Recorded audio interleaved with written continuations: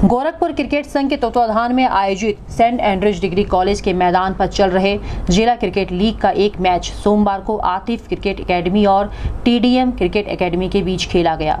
पहले बल्लेबाजी करते हुए आतिफ क्रिकेट एकेडमी की पूरी टीम 28वें ओवर में 108 रन बनाकर सिमट गई।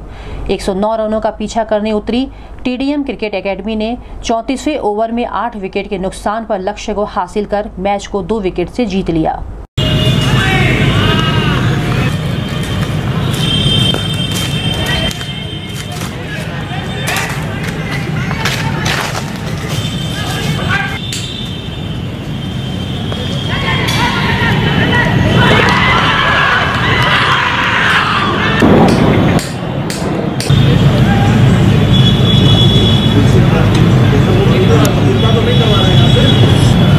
पहला साल जो है